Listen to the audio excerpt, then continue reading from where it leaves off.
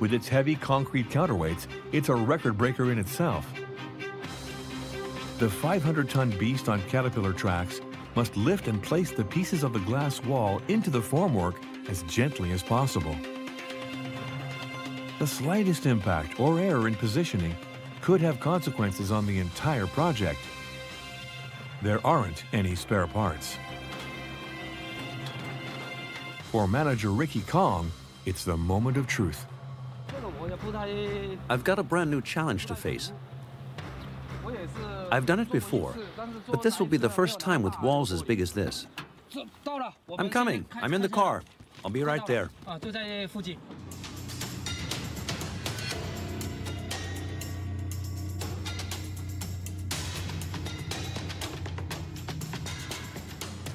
The formwork is ready and waiting inside the aquarium. The only thing left to do is slip the 270 tons of acrylic glass inside.